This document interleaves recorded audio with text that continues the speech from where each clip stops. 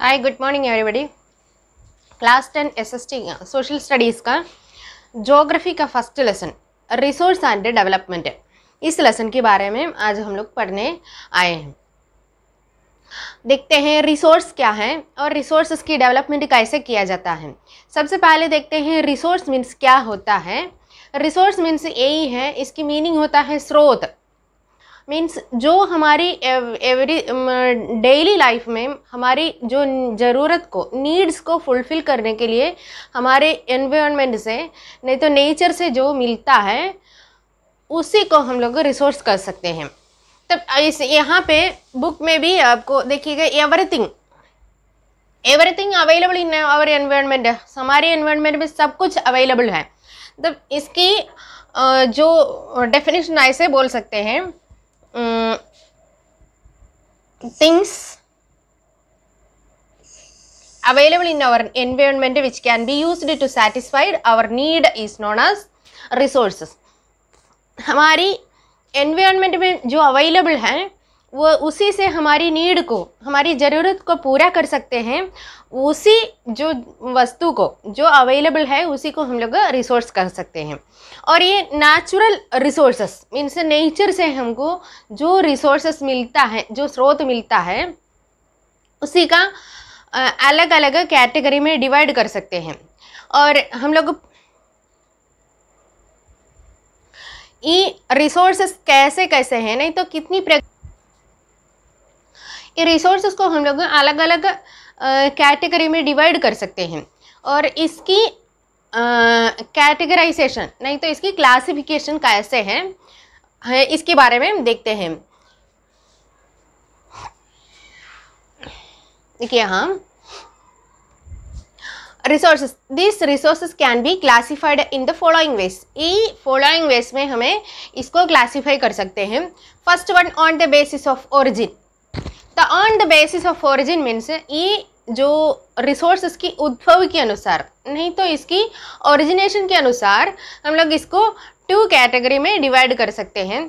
Biotic resources and abiotic resources कहते हैं। Actually biotic resources हम लोग कहते हैं, यही होता है कि छोटे क्लास में हम लोग पढ़ते हैं रिसोर्सेज की, नहीं तो जो हमारी इन्वायरमेंट को हम लोग दो कैटेगरी में डिवाइड कर सकते हैं living things and non living things करके। तो सेम यही होता है biotic and abiotic means biotic resources means जो लिविंग थिंग्स होता है। लिविंग थिंग्स मीन्स हमें मालूम है प्लांट्स एनिमल्स ये सबको हम लोग लिविंग थिंग्स कहते हैं।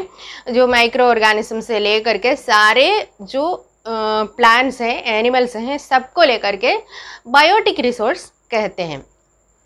और abiotic resources means non living things है नॉन लिविंग थिंग्स मीन्स हमें मालूम है, हमारे अर्थ में सॉइल हो गया एयर हो गया, और ये रिवर है वाटर है, ये सबको नॉन लिविंग थिंग्स कहते हैं।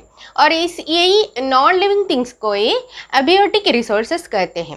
तो फ़र्स्ट हमारी कैटेगरी है first biotic resources biotic resources हमें मालूम, हम लोग कहें कि flora and fauna fisheries livestock ये सबको लेकर के बायोटिक रिसोर्सेस कहते हैं। Abiotic resources means all those things which are compose non living things for example rocks and metals rocks है मिनरल्स है वाटर है एयर है, ये सब जो नॉन लिविंग थिंग्स हैं, उसी को हम लोग अबायोटिक रिसोर्सेस कहते हैं। और नेक्स्ट कैटेगरी है on the basis of exhaustibility on the basis of exhaustibility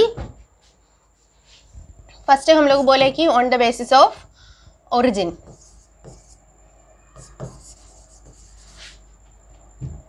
sir जो सेकेंड कैटेगरी इसका मतलब जो रिसोर्सेस हैं यूज़ करने पर ख़त्म होता है, कुछ रिसोर्सेस है, जितना भी यूज़ करेगा तो ख़त्म नहीं होता है। और इसीलिए इसको on the basis of exhaustibility कहते हैं। इसका मतलब renewable resource and non renewable resources जो सिंपल मीनिंग में हमें ऐसे बोल सकते हैं जो रिसोर्स कितना भी यूज़ करेगा, इसको हमें रिन्यू कर सकते हैं। नहीं तो फिर जो यूज़ करने पर ख़त्म नहीं होता है। जैसे सोलार एनर्जी हो गया है और वाटर है, ये सब कितना भी हम लोग यूज़ करेगा तो ख़त्म नहीं होता है। तो उसी रिसोर्सेस को रिन्यूएबल रिसोर्स कहते हैं। नॉन रिन्यूएबल रिसोर्सेस मीन्स ये यूज़ करने पर ख़त्म हो जाता है। यूज़ करने पर ख़त्म हमें मालूम है पेट्रोलियम है कोल है मीन्स कल कोयला। ये सब जो हम लोग यूज़ करेगा तो उसके अनुसार ख़त्म होता है। तो फिर इसकी रिन्यूएशन नहीं तो इसकी रिन्यूएबिलिटी जल्दी नहीं होता है। कोल पेट्रोलियम सब बनने के लिए मिलियंस ऑफ़ ईयर्स की टाइम लगता है। और इस तरह जो जल्दी रिन्यू नहीं कर सकते हैं, ऐसे रिसोर्सेस को हम लोग नॉन रिन्यूएबल रिसोर्स कहते हैं। तब ये सेकेंड कैटेगरी मीन्स एक्सोस्टेबिलिटी के अनुसार हमें रिसोर्सेस को दो कैटेगरी में डिवाइड करते हैं। दो प्रकार की रिसोर्सेस हैं। renewable resources and non-renewable resources. Next on the basis of ownership third category के अनुसार है तो ओनरशिप के अनुसार। ओनरशिप के अनुसार हम लोग रिसोर्सेस को डिवाइड कर दे रहा है। ऑनरशिप मीन्स जो किसके हाथ में है, नहीं तो यही रिसोर्सेज की मालिक कौन है, उसके अनुसार हम लोग रिसोर्सेज को अलग अलग कैटेगरी में डिवाइड करते हैं। सबसे पहले होता है फ़र्स्ट ये ओनरशिप के अनुसार मीन्स हम लोग अलग अलग कैटेगरी में है। ये ओनरशिप के अनुसार सबसे पहले डिवाइड करेंगे individual resources individual resources means personal means व्यक्तिगत होता है। किसी व्यक्ति की हाथ में, व्यक्ति के अधिकार में, नहीं तो व्यक्ति मालिक होता है तो उसी तरह जो रिसोर्सेस को हम लोग इंडिविजुअल रिसोर्सेस कहते हैं। जैसे हम लोग अपनी ज़मीन है, अपनी घर है, और अपनी फैक्ट्री है, जैसे ये सब है, व्यक्तिगत होता है। उसी तरह जो अपनी एक एक पर्सनल व्यक्ति के अधिकार में है तो उसी रिसोर्सेस को पर्सनल इंडिविजुअल रिसोर्स कहते हैं। और इसके बाद सेकंड कैटेगरी होता है community on the resources community means एक कम्युनिटी की हाथ में मतलब एक किसी भी व्यक्ति का नहीं, किसी एक कम्युनिटी की पूरा ले लोग उसी की मालिक हो जाता है। जैसे हम लोग देखते हैं, ये ट्राइबल्स ट्राइबल्स के बीच में है तो वो लोग जहाँ जिस एरिया में रहते हैं, वो जो एरिया को पूरे, वो लोग अपना कम्युनिटी की संपत्ति माना जाता है। मीन से कम्युनिटी की ओनरशिप है। और उसी में किसी व्यक्ति का नहीं। हमें ये ट्राइबल्स को कैसे लोग का लाइफ होता है, हम लोग जानते हैं। लोग जंगल में जाते हैं कि जंगल में से फॉरेस्ट प्रोडक्ट कलेक्ट कर देंगे और उसके बाद उसी को लेकर बेचते हैं। तब ये नहीं होता है कि इतना एरिया के जंगल मेरा नाम पे है और उसके बाद उसी में एक एकड़ जंगल दूसरे के नाम पे है, ऐसे नहीं मानते हैं। जो कम्युनिटी का, नहीं तो जिस नाम की कम्युनिटी उसमें रहते हैं और उसके आसपास की पूरे जंगल उस कम्युनिटी का ही संपत्ति जैसे मानते हैं। किसी व्यक्ति का नहीं जो तब तो हम लोग कहते हैं कि फॉरेस्ट किसी व्यक्ति का नहीं है, नहीं तो एक कम्युनिटी का नहीं है, सरकार का है। लेकिन फॉरेस्ट में रहने वाले मीन्स हमें मालूम है जो बहुत पहले के नियम मीन्स जब कॉलोनियल रूल चलता था उस समय से ये आदिवासी लोगों को रहने के लिए एक एरिया सेटलमेंट करके अलग दिया है। उसी एरिया की बात कर रहा है। और नेक्स्ट थर्ड कैटेगरी होता है नेशनल ऑनरशिप का। नेशनल रिसोर्सेस कहते हैं। नेशनल रिसोर्सेस मीन्स एक नेशन का संपत्ति है। एक नेशन की जो बाउंड्री के अंदर जितनी संपत्ति है नहीं तो जितना रिसोर्सेस है सब कुछ उस नेशन का होता है। मीन्स उस कंट्री की संपत्ति माना जाता है। और उस कंट्री की मालिक उसी रिसोर्सेस की मालिक वही कंट्री है। और हमको मा, हमें मालूम है जो समुद्र की बात कर रहे हैं। जो हमारे इंडिया के पास में मीन्स इंडिया से तीन समुंदर हैं मीन्स अरेबियन सी है, बे ऑफ़ बंगाल है, इंडियन ओशन है। तब ये समुंदर समुंदर में भी हमारा इंडिया की जो लैंड बाउंड्री होता है, वो लैंड बाउंड्री से इतनी नॉटिकल माइल तक समुंदर की अंदर भी मीन्स हमारी इंडिया की ऐसे बाउंड्री जो है, यहाँ इस रीजियन से, इस, ये लैंड बाउंड्री से लेकर के इतने नॉटिकल माइल तक जो समुंदर भी हमारा ही है। और इसको इस इसी को हम लोग ये हमारी लैंड एरिया के अंदर ये बाउंड्री के अंदर कितना रिसोर्सेस है और उसके साथ इतनी ये समुंदर में भी हमारे ये, ये रिसोर्सेस सब हमारी होता है। मीन से हमारा देश की है। इस तरह जो एक एक नेशन की संपत्ति है नहीं तो नेशन के रिसोर्सेस है तो हम लोग उसको नेशनल रिसोर्सेस कहा जाता है। और उसके बाद international resources international resources means किसी भी नेशन का संपत्ति नहीं है। किसी भी नेशन का बाउंड्री के अंदर नहीं है। जो सारे नेशन की जो बाउंड्री होता है, उसके बाद जो बचता है, उसी संपत्ति को, नहीं तो उसी रिसोर्सेस को इंटरनेशनल रिसोर्सेस कहा जाता है। एक एग्ज़ाम्पल हम लोग बोले, यहाँ पे अभी समुद्र की बात किए हैं। और यहाँ से लेकर के यहाँ तक जो, मान लीजिएगा, हमारी समुद्र बॉर्डर है ये इतना नोटिकल माइल तक हमारी माना जाता है। और उस तरह पड़ोस की देश है यहाँ दूसरी देश हैं पाकिस्तान हो दूसरा देश है तो उस उन लोग को भी ऐसे उतनी नोटिकल माइल तक समुद्र में उनकी संपत्ति होता है। और हमारा यहाँ तक है और इसके बाद यहाँ तक। यहाँ देखिए बी, बीच में यहाँ कोई देश नहीं है तो ये समुद्र की भाग इंटरनेशनल रिसोर्सेस माना जाता है। इंटरनेशनल रिसोर्सेज मीन्स कोई भी कंट्री के अंडर में नहीं है। किसी भी कंट्री के नहीं, किसी नेशन का नहीं। और ऐसा जो रिसोर्सेज को इंटरनेशनल रिसोर्सेज कहते हैं। और ये इंटरनेशनल रिसोर्सेज को देखभाल करने का ज़िम्मेदारी होता कि इंटरनेशनल ऑर्गेनाइजेशन जैसे यूएन हो गया है, ऐसा जो इंटरनेशनल ऑर्गेनाइजेशन इसकी देखभाल करते हैं। तब यही चार प्रकार की ऑनरशिप के अनुसार इंडिविजुअल होता है और इसके बाद कम्युनिटी हो गया और थर्ड नेशनल और नेशनल रिसोर्सेस हो गया है फोर्थ इंटरनेशनल रिसोर्सेस और इसके बाद on the basis of development on the basis of status and development status और डेवलपमेंट के अनुसार हम लोग ये रिसोर्सेस को अलग अलग कैटेगरी में डिवाइड करते हैं।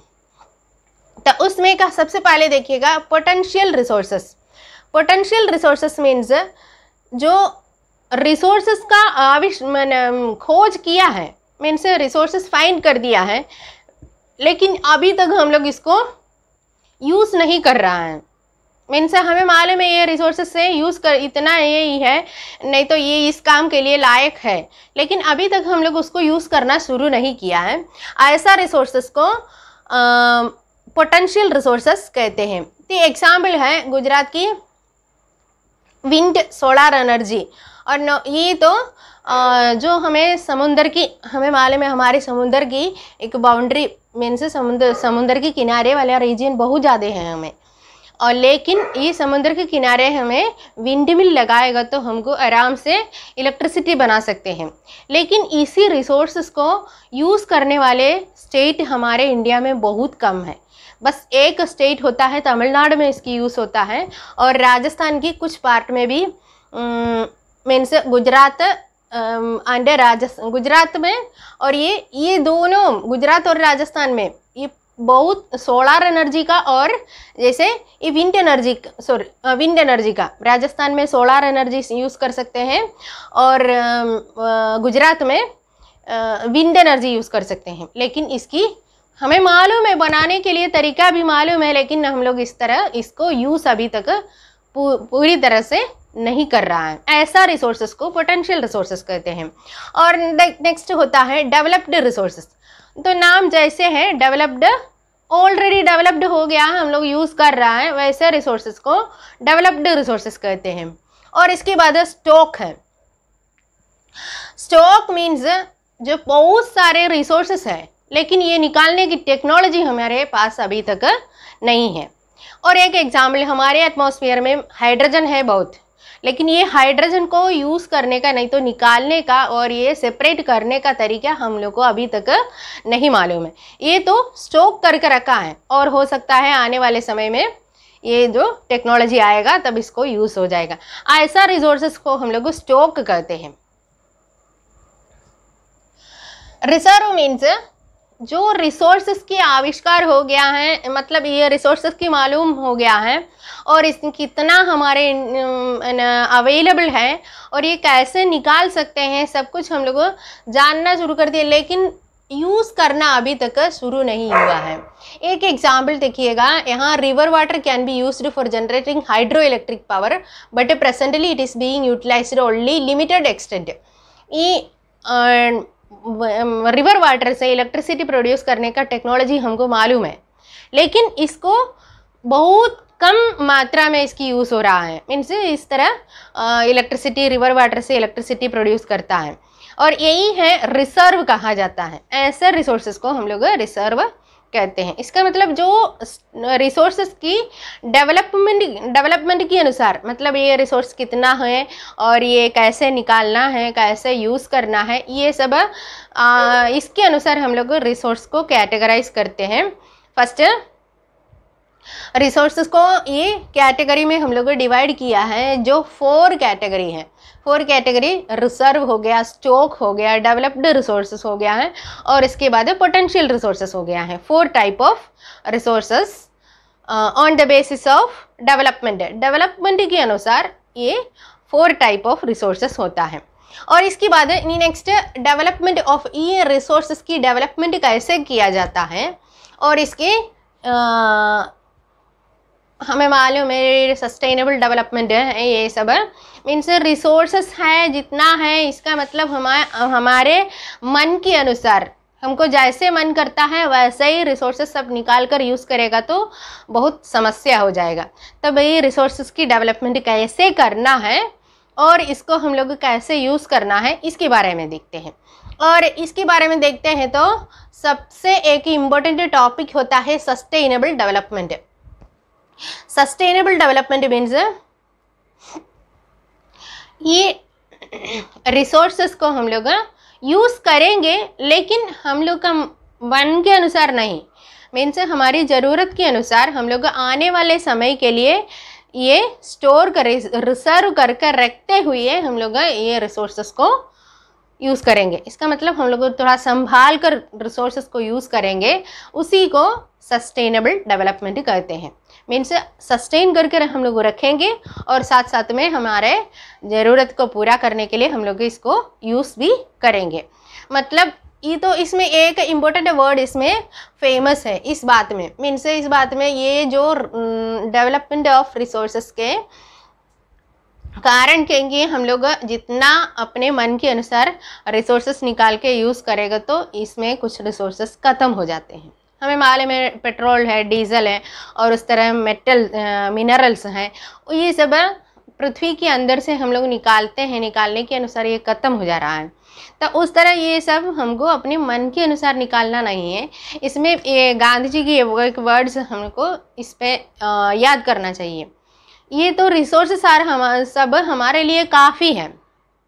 Resources are enough for our need not for our greed हमारी ग्रीड के लिए मीन्स हमारी लालच के लिए रिसोर्सेस नहीं है, लेकिन हमारी नीड जितना, हमें जितना ज़रूरी है, उतना उतना काफ़ी है रिसोर्सेस हमारे लिए है अवेलेबल है, लेकिन हमारे ग्रीड के लिए अवेलेबल नहीं है।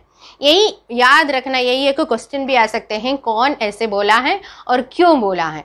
मीन्स गांधी जी ने बोला था, यही ये क्यों बोला है कि ये रिसोर्सेज की डेवलपमेंट हमें कैसे यूज़ करना है? मीन्स कैसे डेवलपमेंट करना है इसके बारे में? नेक्स्ट ये सस्टेनेबल डेवलपमेंट के बारे में मीन्स कैसे क्या करना है? ये सस्टेनेबल डेवलपमेंट कैसे कर सकते हैं इसके बारे में?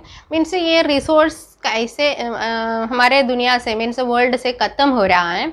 और इसी ख़त्म होने वाले ये प्रॉब्लम को कैसे सोल्व कर सकते हैं इसके बारे में सोचने के लिए आ, 1992 में वर्ल्ड फ़र्स्ट अर्थ सुमित कहा जाता है।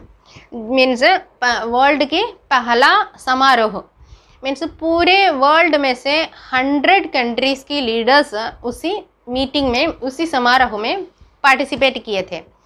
ये तो हुआ था 1992 में ब्राज़ील की कैपिटल जो Rio de Janeiro Rio de Janeiro में यही अर्थ सुमित हुआ था। उसमें इसी बात के बारे में चर्चा हुआ है और चर्चा करके वहीं पे एक डिसीशन ये लोगों ने निकाले हैं। मीन से एक प्लान तैयार किया था। इसी प्लान को एजेंडा ट्वेंटी वन कहते हैं। एजेंडा ट्वेंटी वन ये एजेंडा ट्वेंटी वन के अनुसार इसी वर्ल्ड अर्थ समिति में जो लीडर्स पार्टिसिपेट किया है कौन कौन सी कंट्री के लोग थे, ये लोग आपस में एक डिसीज़न लिया था, जो समस्या आने वाले हैं, जो इसके देखिएगा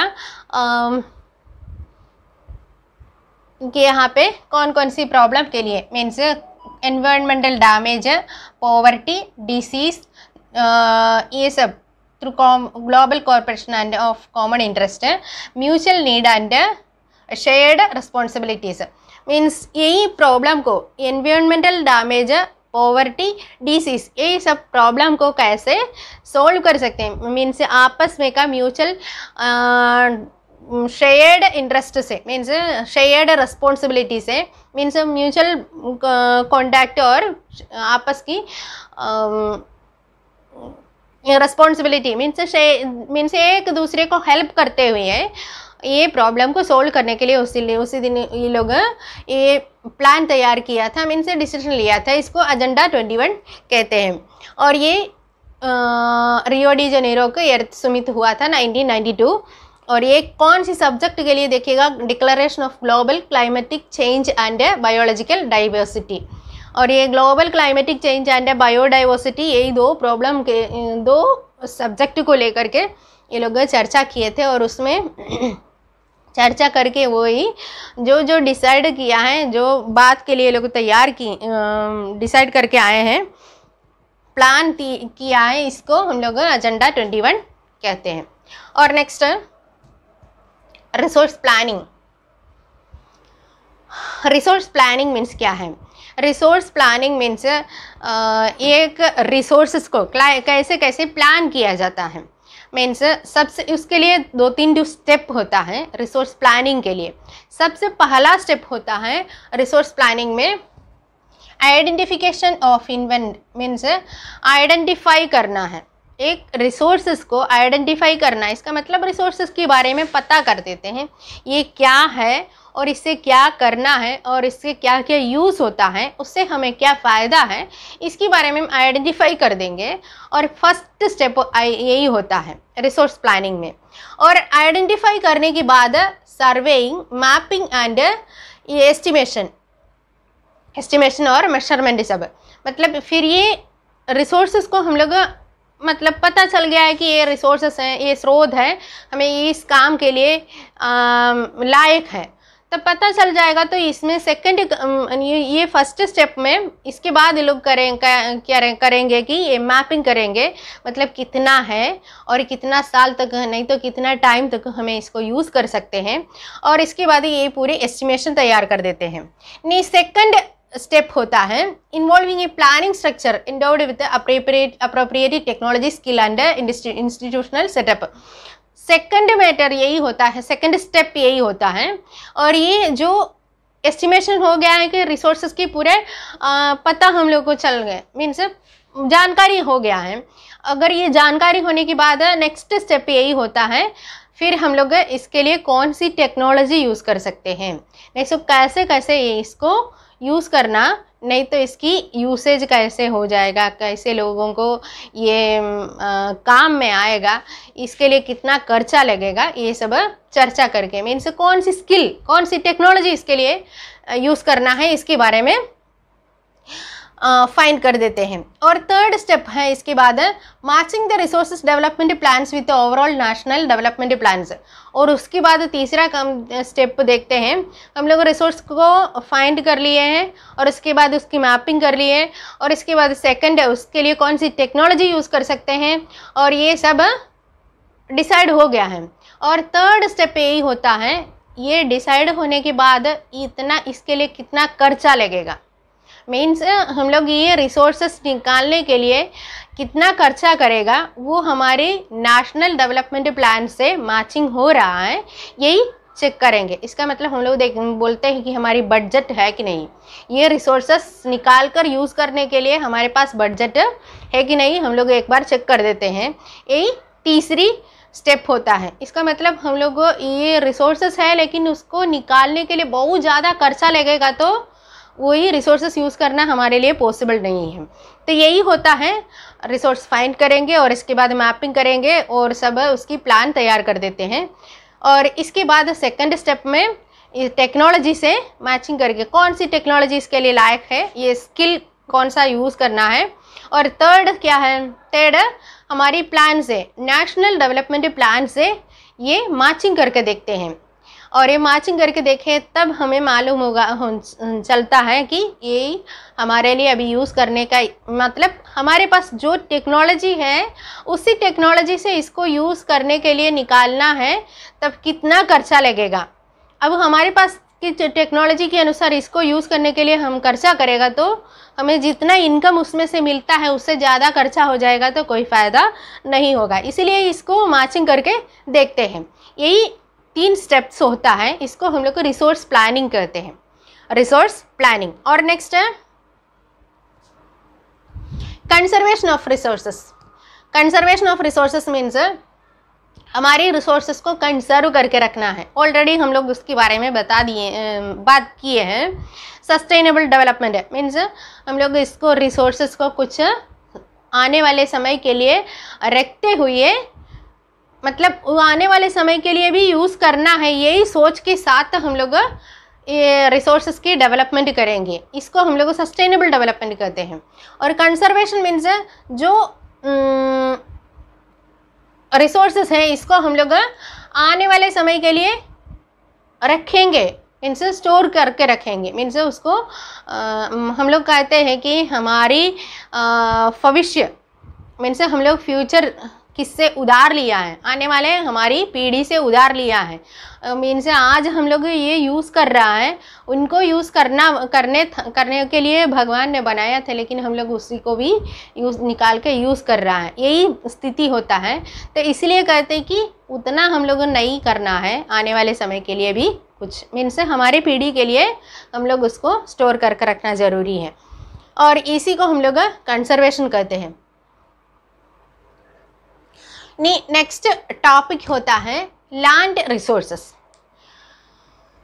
ये हम लोग रिसोर्सेस क्या हैं और कितने प्रकार में कैटेगराइज किया है और ये रिसोर्स प्लानिंग कैसे है और इसके बाद कंजर्वेशन क्या है, ये सब हम लोग देखे हैं. नेक्स्ट टॉपिक होता है लैंड रिसोर्सेस हमें मालूम है लैंड रिसोर्सेस बोलेगा तो हम लोग स्पेशली जहाँ रहते हैं सॉइल मीन्स ये जो अर्थ की हमारी सरफेस एरिया है, उसी को ही हम लोग लैंड कहते हैं।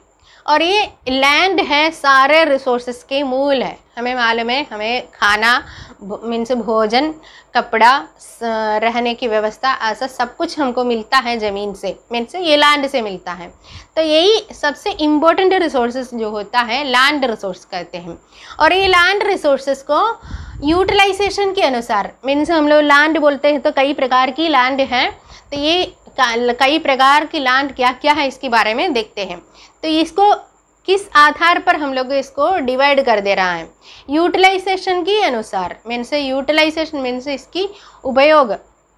कैसे इसको यूज़ करता है, इसकी इस्तेमाल कैसे है, उसके अनुसार इसको हम लोग अलग अलग कैटेगरी में डिवाइड करते हैं। तो उस तरह ये लैंड को कैटेगराइज करते हैं तो इसको हम लोग लैंड यूज़ पैटर्न कहते हैं। Land use pattern land use pattern means land हम लोग कैसे कैसे यूटिलाइज करता है? तो देखिएगा, हमें मालूम है फॉरेस्ट है और जो बारन लैंड है और इसके बाद अनकल्टिवेटेड लैंड है फाड़ो लैंड है और नेट सोन एरिया है, ऐसे अलग अलग कैटेगरी में लैंड को कैटेगराइज करते हैं। तो इसी ये कैटेगरी राइज करने वाले यही मेथड को हम लोग लैंड यूज़ पैटर्न कहते हैं।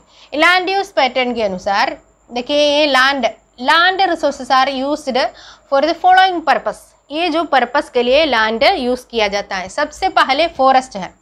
और second land not available for cultivation second group means क्या है? लैंड है। लेकिन हमारे लिए कल्टीवेशन के लिए अवेलेबल नहीं है। वो कल्टीवेशन की जगह पर उसमें दूसरी कुछ काम हो गया है। दूसरी काम मीन्स बारन लैंड बारन एंड वेस्ट लैंड हो सकता है ये तो बंजर है।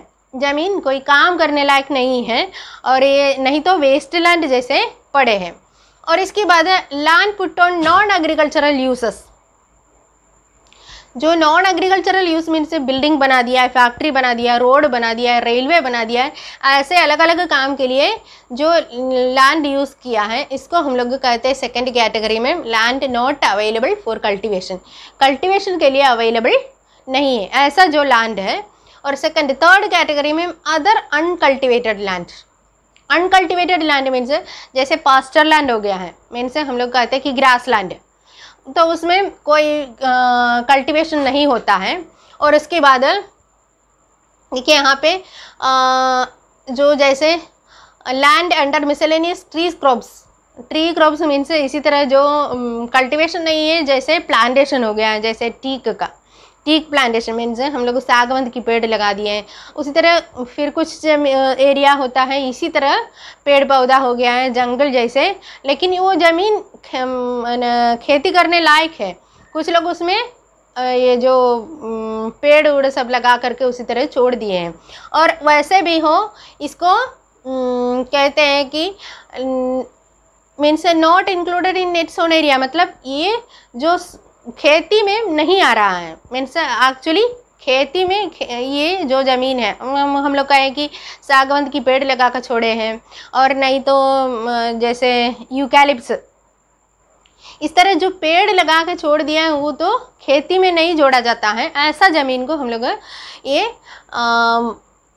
अंडर मिसलेनियस ट्री क्रॉप्स कहते हैं। और next culturable wasteland left uncultivated for more than five agricultural years means जो कल्टिवेटेबल है, लेकिन चार पाँच साल से इसी तरह पड़ा है, उस पर कोई खेती नहीं हो रहा है। हो सकता है ज़मीन दो आपस में लड़ाई की वजह से उसमें खेती नहीं हो रहा है, नहीं तो देखभाल करने के लिए कोई नहीं है, उसी तरह पड़ा है।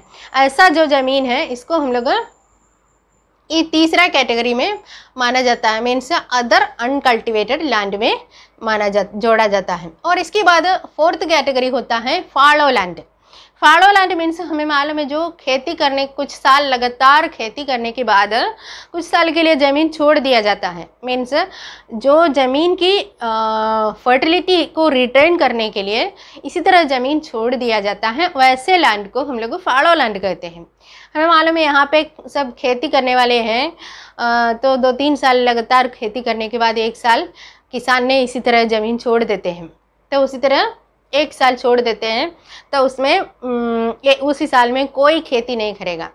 तो इसी तरह जो जंगली पौधा हो, उग करके इसी तरह एक साल छोड़ा जाता है, और उसके बाद फिर अगले साल को इसको साफ़ करके खेती करते हैं। तो उस तरह छोड़ने के जो मीन्स जो ज़मीन को, नहीं तो लैंड है, खेत है, ये सब अपना फर्टिलिटी ज़मीन की जो फर्टिलिटी को मीन्स सॉइल अपनी फर्टिलिटी रिटेन करने के लिए जो कुछ साल, नहीं तो कुछ समय छोड़ा जाता है, ऐसा लैंड को हम लोग फाड़ो लैंड कहते हैं। वो तो करंट फाड़ो भी होता है अदर देन करंट फाड़ो होता है कि uncultivated for past one to five agricultural years means पाँच, चार, पाँच साल से जो खेती नहीं हो रहा है, ऐसा ज़मीन है जो उसी तरह फाड़ो लैंड भी है और current fallow means without cultivation for one और एक साल है नहीं तो एक दो साल केवल छोड़ के फिर अगले साल से खेती होता है, उसको करंट फॉलो कहते हैं। तो fallow land means current fallow और other than current fallow means one एक से लेकर के चार पाँच साल से लगातार खेती नहीं होता है, ऐसा ज़मीन को करंट ये ऐसे अदर देन करंट फॉलो करते हैं और फिफ्थ कैटेगरी है नेट सोन एरिया मीन्स कितनी एरिया में खेती होता है, उसको नेटोसोन एरिया कहते हैं. Means cropped means gross cropped area कहते हैं. मीन्स नेट सोन एरिया नहीं तो ग्रोस क्रॉप्ड एरिया जितना एरिया में क्रॉप हुआ है मीन्स फ़सल है उसी एरिया को नेट सोन एरिया कहते हैं. तो यही होता है लैंड यूज़ पैटर्न यूटिलाइजेशन के अनुसार, ज़मीन की यूज़ के अनुसार इसको अलग अलग कैटेगरी में डिवाइड करते हैं। इसी को हम लोग लैंड यूज़ पैटर्न कहते हैं। उसके अनुसार फ़र्स्ट होता है फॉरेस्ट सेकंड होता है land not available for cultivation third होता है अदर अनकल्टिवेटेड लैंड मीन्स हम लोग कहते हैं कि ग्रेसिंग लैंड हो गया है, जो ट्री क्रॉप्स लगा के छोड़ दिया है, ऐसा लैंड को। और फोर्थ होता है fallow land fallow land means ज़मीन फर्टिलिटी रिटेन करने के लिए छोड़ दिया है, वैसे ही लैंड को फाड़ो लैंड कहते हैं, फिर फिफ्थ होता है नेट सोन एरिया मीन्स जितना एरिया में खेती होता है, उसको नेट सोन एरिया कहते हैं। और इंडिया में, देखिए यहाँ पे दो तो पाई चार्ट दिया है इंडिया की ये तो 1961 60 और 61 में, और इसके बाद ये 2014 और 15 में इंडिया की लैंड यूज़ पैटर्न का फ़ोटो है। एक पाई डायग्राम है। ये पाई चार्ट दिया है। और इसमें देखिएगा तो एक एक एरिया क्या है, इसके बारे में। देखिए नेट सोन एरिया 45 परसेंटेज था। यहाँ पे तो 46 परसेंटेज था फैले। और उसमें से आज कम हो गया। हमें मालूम है बिल्डिंग है रोड है रेलवे ये सब बन गया है ज़्यादा। उसके अनुसार ज़मीन कम हो गया है। नेट सोन एरिया कम हो गया है। और इसके बाद ये ब्लू कलर में fallow and other current fallow है. ट्वेंटी थ्री परसेंटेज है. पहले था एटीन परसेंटेज है, लेकिन अभी twenty three percentage fallow land है और इस तरह देखिएगा कल्टिवेटेबल लैंड कितना है नेट सोन एरिया कितना है, और ये करंट फॉलो क्या है, ये सब इसमें दिया है. देखिएगा कितने परसेंटेज के अनुसार दिए हैं. Geographical area in India is 3.28 million square kilometre है. और लैंड यूज़ डेटा इसके अनुसार हमारी ninety three percentage of the total geographical area है। लैंड यूज़ रिपोर्टिंग के अनुसार। Means except Assam has not been done fully means Assam को छोड़ करके बाकी हमारा इंडिया की 93 परसेंटेज भी ज़मीन हम लोग यूज़ करता है। देखिए टोटल जियोग्राफिक एरिया की लैंड यूज़ डेटा के अनुसार इस अवेलेबल फॉर 93 परसेंटेज है। 93 परसेंटेज ज़मीन भी हमारी खेत करने, नहीं तो कल्टिवेटेबल लैंड है। तो उसमें आसाम और जम्मू कश्मीर की जो पाकिस्तान ऑक्यूपाइड एरिया जो होता है, चाइना ऑक्यूपाई किया है, जितना एरिया वो सब छोड़ करके नाइन्टी थ्री परसेंटेज करते हैं। और इसके बाद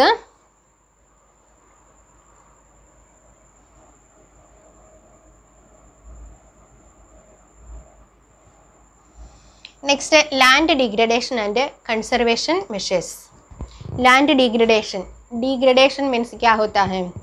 डी ग्रेड है. डी ग्रेड मीन्स जो ग्रेड कम हो गया है. मतलब पहले जैसा ज़मीन था, उसकी क्वालिटी पहले से कम हो गया है. जो हमारी लैंड की क्वालिटी पहले से कम होता है, उसी को लैंड डिग्रेडेशन कहते हैं. ये लैंड डिग्रेडेशन की अलग अलग रीज़न होता है. मीन्स कैसे लैंड डिग्रेड होता है। हमें मालूम है हमारे अर्थ में कि कई प्रकार की प्रॉब्लम के बारे में हम लोग छोटे क्लास में से पढ़ कर आ रहा है, जो सॉइल पोल्यूशन हो गया एनवायरमेंटल पोल्यूशन हो गया, ऐसे, ये सब हम लोग पढ़े हैं। और यही सब रीज़न होता है लैंड डिग्रेडेशन का। लैंड डिग्रेडेशन की रीजन्स एक होता है, हम लोग कहें कि सॉइल पोल्यूशन हो गया है। सॉइल पोल्यूशन मीन्स जैसे हम लोग यूज़ करने वाले पेस्टिसाइड हो गया है आ, जो केमिकल फर्टिलाइज़र हो गया है ये सब की यूज़ के कारण से लैंड की क्वालिटी पहले से कम हो गया है। मीन्स लैंड डिग्रेडेशन हुआ है। और इसके बाद soil erosion soil erosion means जो मिट्टी की घटाव हो गया है मीन्स अच्छे मिट्टी था, उस सबसे टॉप सॉइल अच्छे हुए, वो मिट्टी क्या हो गया है? घट गया बह गया है। और उसी को सॉइल इरोशन कहते हैं। सॉइल इरोशन के कारण से और नेक्स्ट सॉइल पोल्यूशन के कारण से, फिर नेक्स्ट एक सॉइल डिग्रेड होने का रीज़न है mining mining process means minerals निकालते हैं जो प्रोसेस होता है माइनिंग प्रोसेस की वजह से भी उसके आसपास की एरिया की ज़मीन की क्वालिटी कम हो जाता है।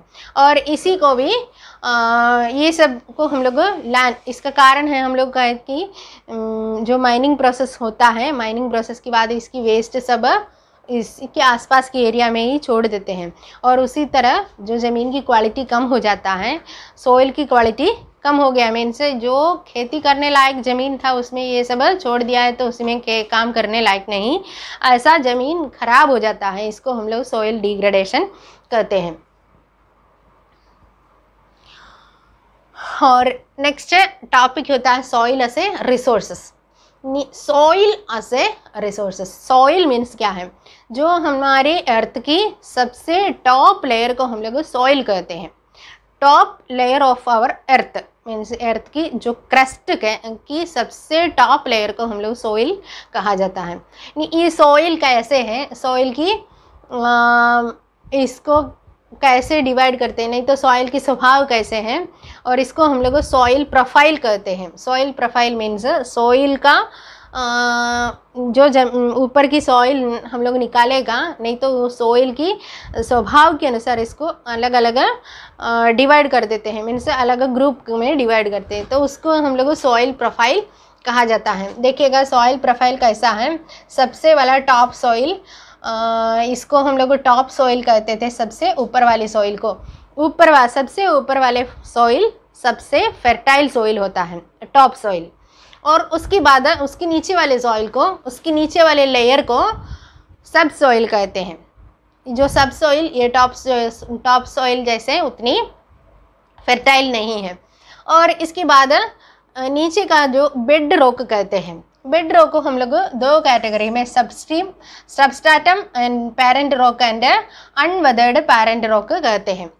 और ये पेरेंट रोक मीन्स सबसे नीचे वाला जो ज़मीन है मीन्स हमें मालूम है ये तो रॉक जैसे हैं और ये रॉक से अलग होकर के फिर उसी को टूटते टूटते धीरे धीरे सॉइल बन जाता है। ये वेदरिंग प्रोसेस कहते हैं इसके लिए। बहुत मिलियंस ऑफ़ ईयर्स की टाइम लगता है और ये वेदरिंग प्रोसेस के लिए। तब ये नीचे के पत्थर से टूट के छोटा पीस हो जाते हैं और उसके बाद वो धीरे धीरे धीरे होते हो, सब सॉइल हो जाएगा और इसके बाद देखिएगा टॉप सॉइल मीन से ये टॉप सॉइल सबसे फर्टाइल सॉइल होता है क्योंकि इसमें हुमस पाया जाता है।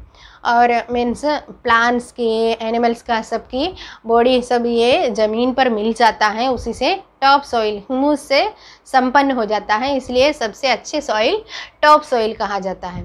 तो सॉइल प्रोफ़ाइल यही है सॉइल प्रोफ़ाइल आप लोग याद रखिएगा टॉप सॉइल सब सॉइल इसके बाद है बेड रॉक कहते हैं, वो बेड रॉक को दो ग्रुप में means substratum parent rock and unweathered parent rock कहते हैं। मतलब वेदरिंग होने के पहले वाले फॉर्म में ये। और इसके बाद ये वेदरिंग होने के बाद जो रॉक मटेरियल्स हैं। और इसके बाद रॉक मटेरियल से सॉइल हो गया है और सबसे ऊपर अच्छा सॉइल हो गया है टॉप सॉइल और इसके बाद क्लासिफिकेशन ऑफ़ सॉइल्स सॉइल की क्लासिफिकेशन कैसे है? मतलब सॉइल की स्वभाव और उसकी स्ट्रक्चर के अनुसार हम लोग सॉइल को अलग अलग ग्रुप मैंने कैटेगरी में क्लासीफाई कर देते हैं। सबसे पहले alluvial soil alluvial soil means जो अलूवियम नाम का कंटेंट इसमें पाया जाता है। अलूवियम मीन्स हम लोग जो नदी के किनारे रहने वाले को मालूम है, नदी जो ज़मीन को मीन्स मिट्टी को लेकर आते हैं। मीन्स मिट्टी को बहा लेकर आते हैं और इसके बाद ये मिट्टी अपने दोनों किनारे छोड़ के चले जाते हैं। अब धीरे धीरे छोड़ते छोड़ते जाते हैं, उसी को अलूवियम कहते हैं। अलूवियम और ये अलूवियम से जो सॉइल संपन्न हो जा रहा है, उसी सॉइल को हम लोग अलूवियल सॉइल कहते हैं। इंडिया में अलूवियल सॉइल पाया जाता है नॉर्थन प्लेन्स रीजियन में अलूवियल सॉइल पाया जाता है। और ये अलूवियल सॉइल में कारण क्या है कि हमारे इंडिया की जो नदी सब जो गंगा है, यमुना है, ऐसे बहुत सारे नदियाँ हैं हिमालयन रिवर्स है, और ऐसे जो रिवर्स की किनारे वाले जो सॉइल है, उसी को ही अलूवियल सॉइल कह सकते हैं। मीन्स इंडिया की जो प्लेन एरिया है मीन्स नॉर्थन प्लेन्स में नॉर्थन प्लेन्स में इसलिए ये अलूवियल सॉइल पाया जाता है। और ये अलूवियल अलूवियल सॉइल को भी two type of alluvial soil यहाँ पे देखिएगा। Soils can be classified as old alluvials and new alluvial soil old alluvial soil है तो उसको भांगर कहते हैं और न्यू अलुवियल सॉइल को खदर कहते हैं। ओल्ड अलुवियल सॉइल है। मीन्स ये जो नदी के किनारे वाले जो ज़मीन नया होते रहता है रिन्यू करते रहते हैं। और उस दूर दूर के जो सॉइल है तो पुराना सॉइल हो गया, उसी को भांगर कहते हैं। और किनारे वाले जो सॉइल होता है तो उसको अलूवियल जो खदर कहता है। और इसके बाद कांगर नोड्यूल्स दैन दिक्कत और ये इसमें particles is not more fertile than the bangar ये बैंगर से ही ज़्यादा फर्टाइल होता है खदर मीन्स ये नया नया है। और इसलिए बैंगर एंड खदर दो प्रकार की सोइल होता है। और उसके बाद नेक्स्ट मीन्स ये alluvial soil is also found in eastern coastal plains particularly in the deltas of mahanadi godavari krishna and kaveri rivers ganga brahmaputra indus ऐसे ये जो हिमालयन रिवर्स की और इसके बाद कृष्णा गोदावरी महानदी जैसे ये सब नदी के किनारे जो मीन्स ये नदी जिस एरिया को पानी देता है उस एरिया को पूरा हम लोग रिवर का जो रिवर प्लेन्स कहते हैं, जो रिवर प्लेन्स की सॉइल स्पेशली ये जो जो, ये सब हम लोग का है कि महानदी, गोदावरी, कृष्णा, कावेरी, ऐसे गंगा, यमुना, इंडस, ब्रह्मपुत्र, ये सब जो रिवर प्लेन्स में जो सॉइल पाया जाता है, वही सॉइल को अलूवियल सॉइल कहते हैं। और इसके बाद नेक्स्ट कैटेगरी होता है ब्लैक सॉइल और एक और बात है अलूवियल सॉइल में क्या क्या अ, खेती करने लायक है ये भी। देखिएगा अलूवियल सॉइल है इसमें सब सम, सारे मिनरल से संपन्न होता है। इसलिए इसमें grown paddy sugarcane wheat cereal pulses ये सब के लिए अलूवियल सॉइल बेटर होता है। सबसे अच्छा सॉइल होता है। और ये next black soil black soil को एक और नाम होता है रगर सॉइल कहते हैं। और ये ब्लैक सॉइल स्पेशली हम लोग कहते हैं कि हो सकता है ये अम, लावा से मीन्स माकमा बाहर आकर के ठंडा होकर के उसी सोइल बन गया है। इसलिए उसी को ब्लैक सोइल कहा जाता है। इस तो हमारे इंडिया में डेकान प्लेट्यू में मीन्स यहाँ देखिएगा plateaus of Maharashtra Saurashtra Malwa Madhya Pradesh and Chhattisgarh इस रीजियन की जो प्लेट्यू रीजियन है, वहाँ पे सोई ब्लैक सोइल पाया जाता है। और ये ब्लैक सोइल कॉटन खेती के लिए सबसे अच्छा होता है, इसलिए कॉटन सॉइल कहते हैं ब्लैक कॉटन सॉइल मीन्स हमारे यहाँ हमें गुजरात, मध्य प्रदेश, महाराष्ट्र इस रीजियन में सब कॉटन की खेती अच्छी से होता है। और इसी से इस कारण से इसको, इसी सॉइल को हम लोग ब्लैक कॉटन सॉइल भी कहते हैं। और ये क्लेई मटेरियल्स है। इसी वेल नोन फॉर ये तो सबसे अच्छा से नमी, मीन से पानी को सोख लेते हैं। और इसे इन एडिशन द ये न्यूट्रिएंट्स भी such as calcium carbonate magnesium magnesium potassium ये सब इसी सॉइल में पाया जाता है। देखिए, यहाँ पे हमारे इंडिया में सोइल कहाँ कहाँ से उसकी एक माप है। ये forest mountain mountain soil alluvial soil red yellow black soil laterite soil arid ये सब कहाँ कहाँ है इंडिया की ये माप है। अब देखिएगा। और इसके बाद रेड एंड येल्लो सॉइल ये red and yellow soil means इसमें आयरन की कंटेंट ज़्यादा होता है, इसलिए यही रेड कलर में, नहीं तो येलो कलर में पाया जाता है। और ये झारखंड, छत्तीसगढ़ रीजियन में यही सॉइल पाया जाता है, और कुछ पार्ट ऑफ़ डेकान प्लेट्यू में भी southern part of Deccan plateau और ये Orissa Chhattisgarh southern part of middle Ganga plain ये सब वेस्टर्न घट रीजियन में सब ये रेड सॉइल पाया जाता है। और next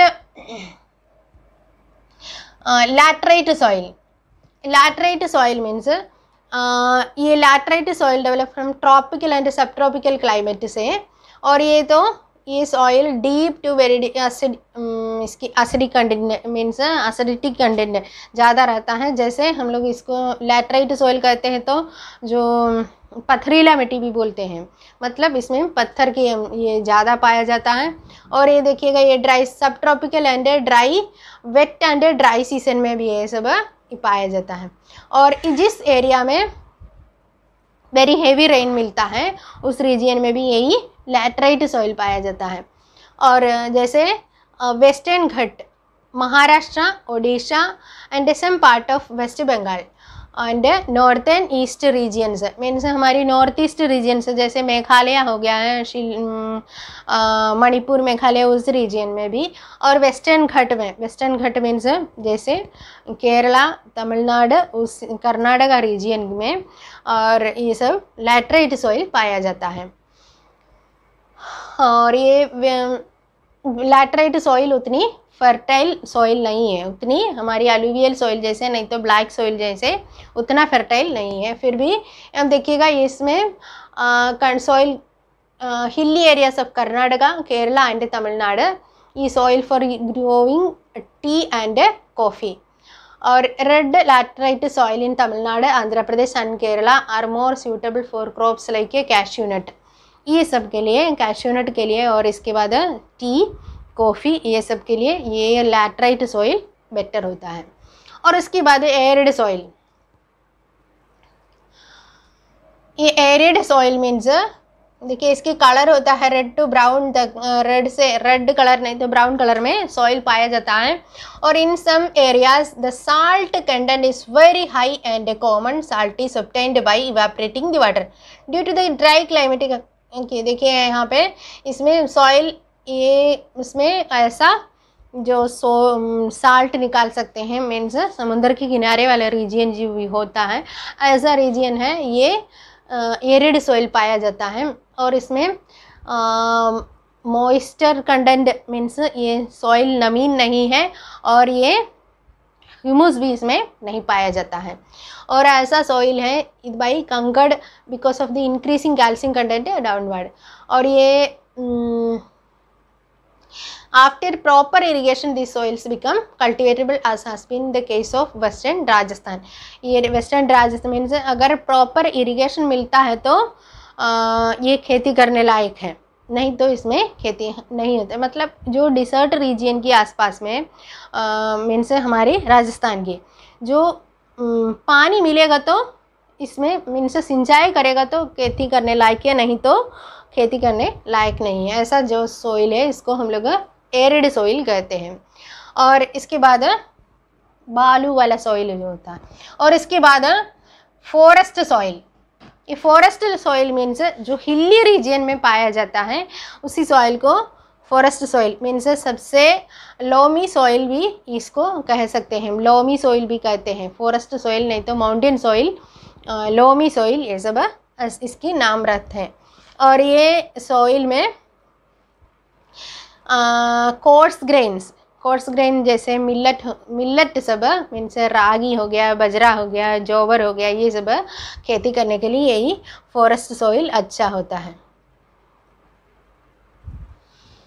और हिमालयन रीजन में ये सब, ये सॉइल पाया जाता है lower part of the valleys particularly river and alluvial fans of Patel और ये जो हिमालयन वैलीज में ये यही माउंटेन सॉइल पाया जाता है।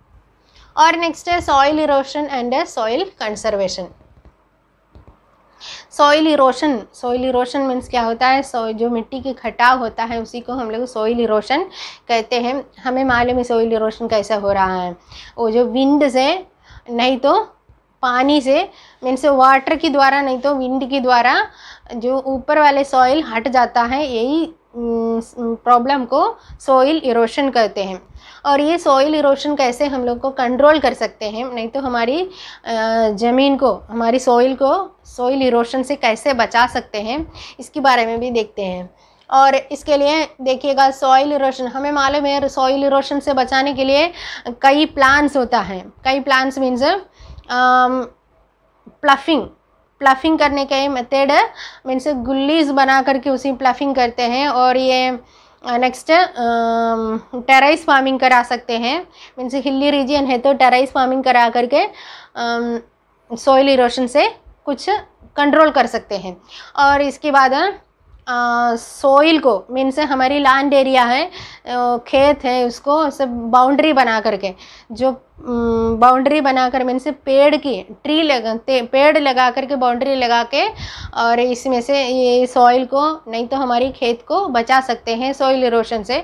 ऐसे अलग अलग प्लान्स बनाकर हमें अपनी सॉइल को, नहीं तो अपनी खेत को सॉइल इरोशन से बचा सकते हैं। फिर सॉइल इरोशन का एक बहुत बड़ा रीज़न होता है ग्रेसिंग एनिमल्स जो इसी तरह जा कर के ग्रेसिंग करते हैं तो। मीन्स ये ग्रेसिंग मतलब कोई कंट्रोल नहीं है कि इसी तरह फुल टाइम जानवर आकर चराते जाते हैं तो उसमें एक छोटी सी जंगली पौधा तक नहीं उगेगा, उसी तरह पड़े रहेगा। तब यही तो बहुत आराम से आ, हवा आएगा नहीं तो विंड आएगा नहीं तो बारिश हो जाएगा तब ऊपर की मिट्टी चले जाएगा। तो यही ग्रेसिंग का ये ग्रेसिंग कुछ कंट्रोल करने पर भी हमें सॉइल इरोशन से बचा सकते हैं।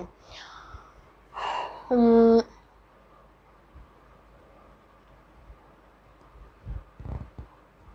नहीं सॉइल इरोशन के बचाने का वाले एक नेक्स्ट एक मेथड है cover cropping cover cropping means जो खेत खाली हो जाते हैं तो इसी तरह कोई पौधा लगाते हैं। इसी तरह कोई पौधा लगाते हैं, इसका मतलब उससे हमको कोई काम नहीं है। मतलब खेत की हम अपने फ़ूड के लिए नहीं तो सब्ज़ी के लिए कोई पौधा नहीं लगाया है। इसी तरह ज़मीन खाली होने से मतलब ज़मीन सूख के ख़राब होने से बचाने के लिए इसको एक कवरिंग करके कोई पौधा लगाते हैं, कोई पेड़ खेती करते हैं तो उसी को हम लोग कवर क्रॉपिंग कहते हैं।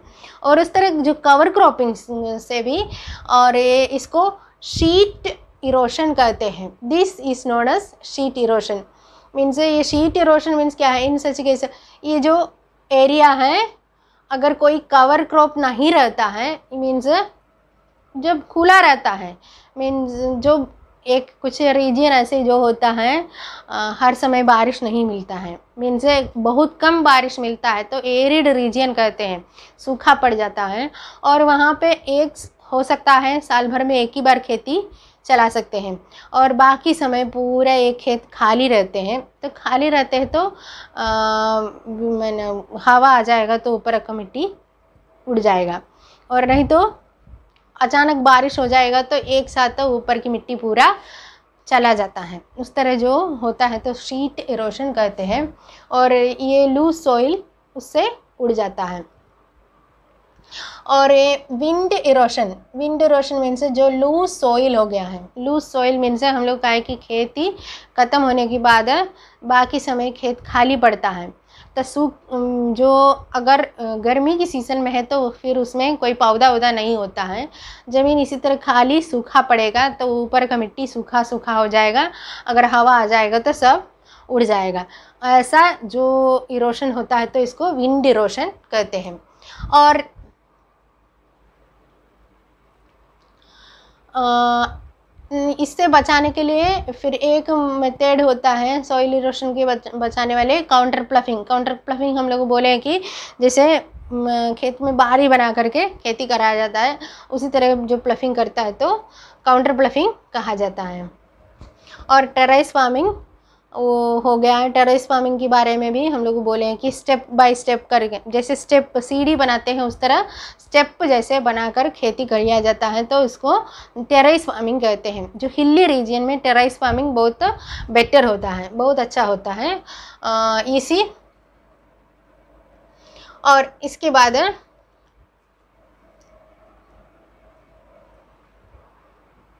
देखिएगा आपका ये लेसन में people management of essential ecological restoration ये सिटीजन ये तो यहाँ पे एक पिक्चर दिया है देखिए यहाँ पे अम, लोगों ने देखिए